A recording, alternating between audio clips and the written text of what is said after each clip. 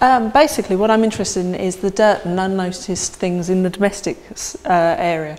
So, for example, the dirt in the very edge of a light switch where no one sees it, no one notices it, it's always disregarded.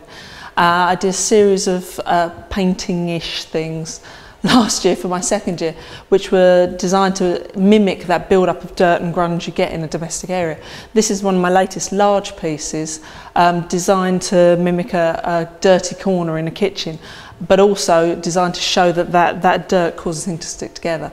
Um, this is a picture of a mirror in a stripped bathroom, so you've got all those strange blues and greens and what have you. So I'm very interested in the colour and paint and things looking dirty but beautiful at the same time. So it's about making these things that are dirty and disgusting beautiful.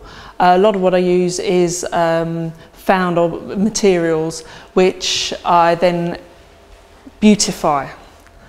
Uh, this one I call the trouble with lichen because it reminded me so much of the, the lichen, but it's also, it makes it, because it's from a floorboard, it's like a, an ever living thing, something you can recycle and recycle and recycle.